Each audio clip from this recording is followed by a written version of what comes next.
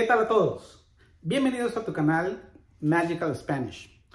Hoy te traigo un nuevo verbo. El verbo es nadar, es uno de los verbos regulares y lo vamos a estar conjugando en 18 diferentes tiempos verbales. Así que espero que esta presentación sea de tu agrado. Empezamos con la información general yo o la introducción digo nadar, to swim en inglés, es un verbo regular terminado en aire. Información importante, el definitivo en inglés sería to swim, en español nadar, termina en AR. El participio pasado en inglés, swam, en español nadado. Gerundio, swimming en inglés, en español nadando. Diferenciamos nadado de nadando. Aquí hay una N, nadando. Bien, bueno, ahora vamos a empezar con los tiempos del modo indicativo, que son los tiempos de, de más uso frecuente en la vida diaria. En el presente simple, en inglés yo digo I swim. En español voy a decir yo nado, tú nadas, él, ella, usted nada, nosotros, nosotras nadamos, vosotros, vosotras nadáis, ellos, ellas, ustedes nadan.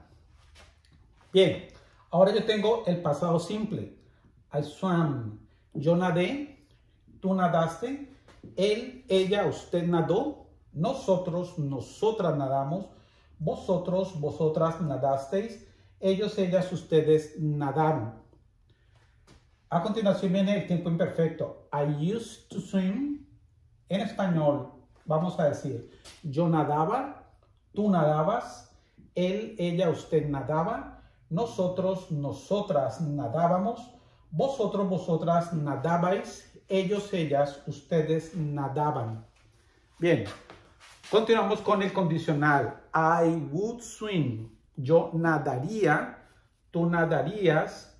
Él, ella, usted nadaría. Nosotros, nosotras nadaríamos. Vosotros, vosotras nadaríais. Ellos, ellas, ustedes nadarían. Y ahora yo tengo el futuro simple que sería I will swim. Yo nadaré. Tú nadarás.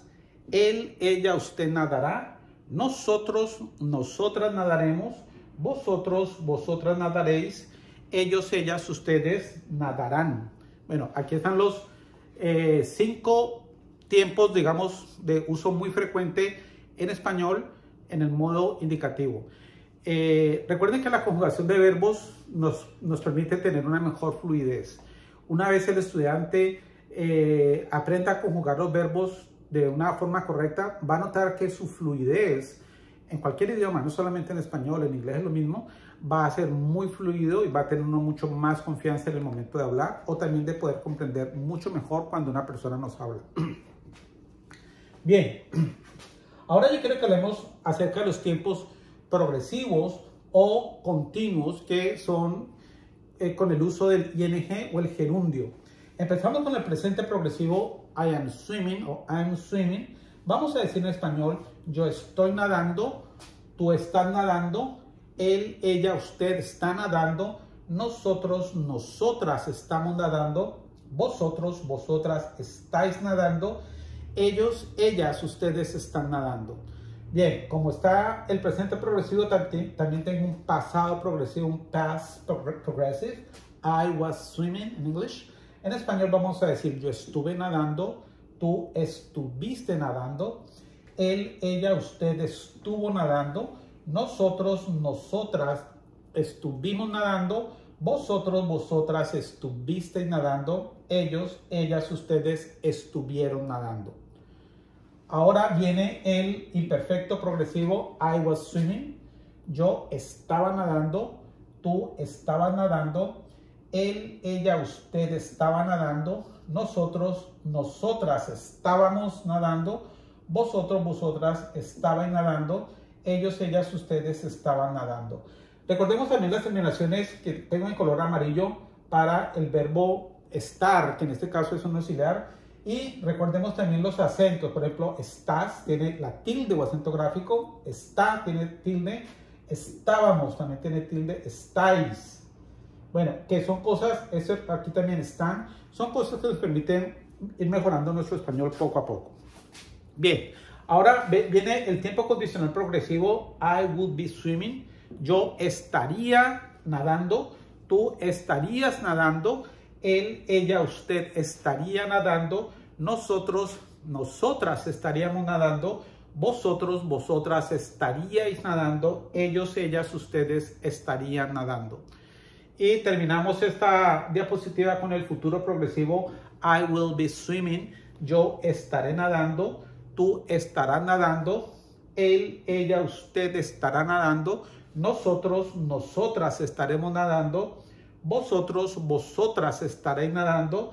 Ellos, ellas, ustedes estarán nadando. Bien. Ahora vamos a hablar un poco acerca del el futuro con ir a que siempre lo menciono, es un tiempo muy frecuente, lo estamos usando a diario en, en español. Yo voy a decir con el going to, I am going to swim. Bueno, en español vamos a decir yo voy a nadar, tú vas a nadar, él, ella, usted va a nadar, nosotros, nosotras vamos a nadar, vosotros, vosotras vais a nadar, ellos, ellas, ustedes van a nadar.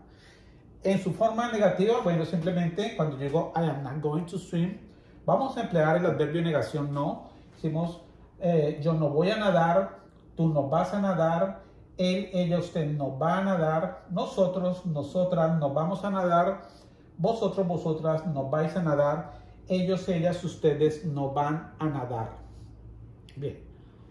Ahora hemos llegado a los, al pretérito imperfecto indicativo con ir a que también se usa mucho. Siempre estamos haciendo eh, uso de esa forma verbal para hablar de algo que está en un pretérito imperfecto. Cuando decimos, por ejemplo, I was going to, I was going to swim o they were going to swim, por ejemplo. Y decimos en español, yo iba a nadar, tú ibas a nadar, él, ella, usted iba a nadar, nosotros, nosotras íbamos a nadar, vosotros, vosotras ibais a nadar, ellos, ellas, ustedes iban a nadar. Y bueno, para las oraciones negativas simplemente vamos a usar el, la negación. Cuando yo digo I was not going to swim o they were not going to swim. Yo no iba a nadar, tú no ibas a nadar, él, ella, usted no iba a nadar, nosotros, nosotras no íbamos a nadar, vosotros, vosotras no ibais a nadar, ellos, ellas, ustedes no iban a nadar. Ahora hemos llegado a la conjugación de los tiempos compuestos del modo indicativo y aquí tenemos el uso del auxiliar haber. Empezamos con el presente perfecto. Cuando digo I have swum, yo he nadado, tú has nadado, él, ella, usted ha nadado, nosotros, nosotras hemos nadado, vosotros, vosotras habéis nadado, ellos, ellas, ustedes han nadado. También tenemos el pasado perfecto que siempre lo mencionamos, no es muy común. Es un tiempo verbal bastante formal. Bueno, y aparece en algunos textos. Siempre menciono, especialmente lo he escuchado, lo he visto, lo he leído en textos bíblicos. Cuando digo I had swum, yo hube nadado, tú hubiste nadado, él, ella, usted hubo nadado, nosotros, nosotras hubimos nadado, vosotros, vosotras hubiste nadado, ellos, ellas, ustedes hubieron nadado. Recordemos que este pasado perfecto no es de uso cotidiano a nivel comunicativo, pero sí en algunos textos que son bastante eh, formales o muy serios. Bien, ahora yo tengo el perfect. I had swum. Yo había nadado. Tú habías nadado él, ella, usted había nadado, nosotros, nosotras habíamos nadado, vosotros, vosotras habíais nadado, ellos, ellas, ustedes habían nadado. Recordemos la musicalidad y la entonación que tenemos junto con cada pronombre personal y la terminación de estos verbos auxiliares. Viene ahora el past conditional. Cuando digo I would have swum, yo habría nadado, tú habrías nadado, él, ella, usted habría nadado, nosotros, nosotras habríamos nadado, vosotros, vosotras habríais nadado, ellos, ellas, ustedes habrían nadado. Y terminamos con el past future. I will have swum. Yo habré nadado. Tú habrás nadado. él, ella, usted habrá nadado, nosotros, nosotras habremos nadado, vosotros, vosotras habréis nadado, ellos, ellas, ustedes habrán nadado. Bien. También quiero que hablemos acerca de los imperativos, las órdenes o los comandos que le damos a una persona. Y eh, los comandos van a ser con tú, usted, nosotros o nosotras, vosotros o nosotras y ustedes. A nivel afirmativo yo puedo dar esa orden, nada, nada tú, nade, nade si estoy tratando a una persona de usted. Nademos si yo estoy incluido, equivale a let's swim. Vosotros o vosotras serían nadad y para ustedes serían naden. Pero miren que el negativo cambia de nada a no nades. Muy importante, nade, no nade, nademos, no nademos, nadad, pero no nadéis, naden y no naden.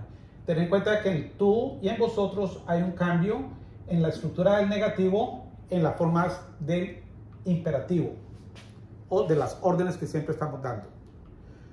Bueno amigos, esto sería todo por el día de hoy. Espero que la conjugación de este verbo en estos 18 tiempos diferentes haya sido de tu grado. Y por favor recuerda, suscríbete totalmente gratis a este canal. Regálame un like o me gusta si esta presentación fue de tu agrado. Comenta, escríbeme acá abajo en la caja de descripciones tus comentarios acerca de esta presentación. Si tienes alguna idea o te gustaría que tratáramos algún verbo específico, lo podemos preparar con mucho gusto y hacemos la presentación.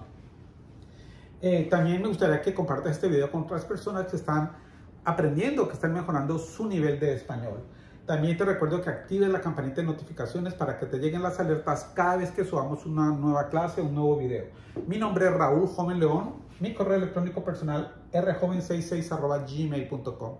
Me encantaría recibir noticias tuyas y recuerda que si quieres una copia de este material en formato de PDF o un PowerPoint, con mucho gusto te lo hago llegar. Bueno amigos, como siempre, agradezco mucho el privilegio de tu tiempo y espero tenerte en una eh, nueva presentación, un nuevo video, una nueva clase muy pronto. Gracias por tu tiempo y nos vemos. Hasta la pronto, hasta la vista amigos, nos vemos.